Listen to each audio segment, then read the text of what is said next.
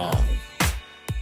Sometimes you just need that coffee fix. So if you're near downtown Dothan, drop into the Bird and Bean and they will hook you up.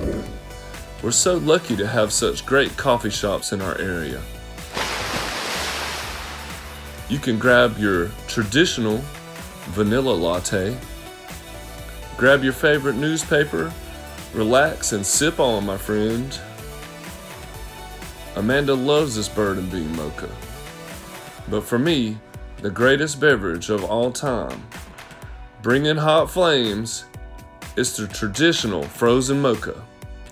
They must be drizzling some kind of magical chocolate on top of this thing because it calls for me every time I'm near downtown. Just take a little trip through this portal over here and you can go shopping at the Naomi and Olive for great local gifts.